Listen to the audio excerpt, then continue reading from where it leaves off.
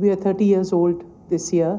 And when we were looking at uh, our fundamental purpose was to bring medical science, you know, the best in the world to India for Indians and from here for the rest of the world. And, and without this piece of research and innovation, we will be left behind. And we looked at it very, uh, you know, thoroughly, and, and we have the best researchers advising us. And Seemant here was given the task two years ago when he joined us, and, he, and we said, we must have research as a very important pillar. And one of the things they did that, you know, these three bright scientists were looking, they worked all, you know, all over the world, especially in the US, and they wanted to come back to India. But they didn't find, they found great potential, but they said that it was difficult to come back. So we said, let us help you, let us be, you know, an incubator. And, and then they said, yes, we'll come back to India. And I must thank Dr. Hari Prasad for his wonderful health city that actually convinced them to come to Hyderabad where we are. Otherwise, they, they were thinking of Chennai, they were thinking of Delhi, and then, but uh, when they looked at this health city that we have here, so they said, we would really like to be located here.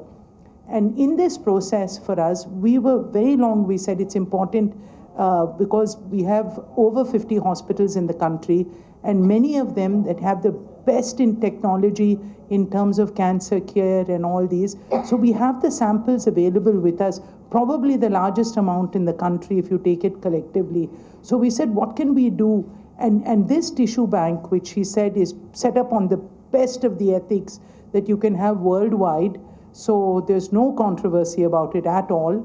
And what, what this will actually do in layman's term, what, what convinced us is it'll bring down the cost of drug discovery and it'll speed it up in terms of medicines. On these disease tissues, they can actually find out.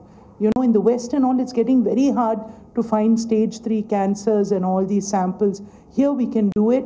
And I think that the quality and the quantity of samples we can get out, this will become cutting edge. That's number one in terms of the tissue bank. From our personal side, I think that Apollo's done the largest number of checkups, preventive checkups in the world, uh, and, and especially in India as a group. And we've really evangelized it. Over the years, we've come out with new standards based on the number of checkups we've done. We've said, what is it for Asians? This personalized medicine just takes it to another level. You know, all of you have heard about Angelina Jolie and what she did and how that DNA testing and what this thing. But, but you know, for the common man, it's there for everyone.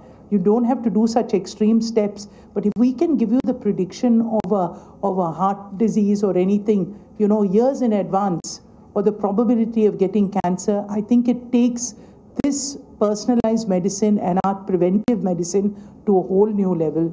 So I think that's why we're very excited and, and especially the fact that we can get three brilliant scientists to come back and do their thing here and be a part of us. Uh, it's a great thing for us. It's all about Sapien today. I love your logo.